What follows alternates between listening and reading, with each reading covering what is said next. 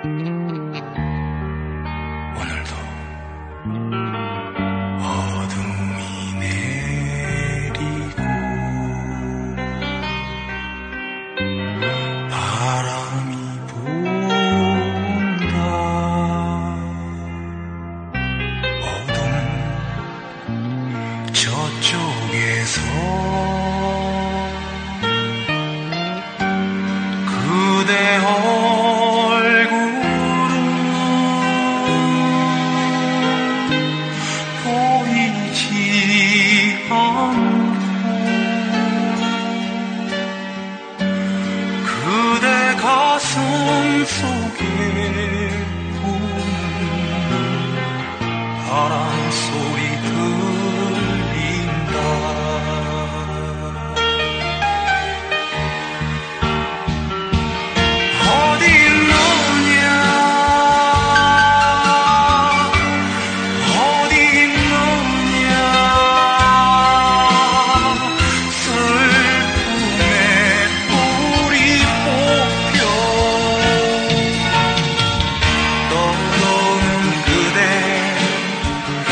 찾으러 떠난 영혼의 불빛 마른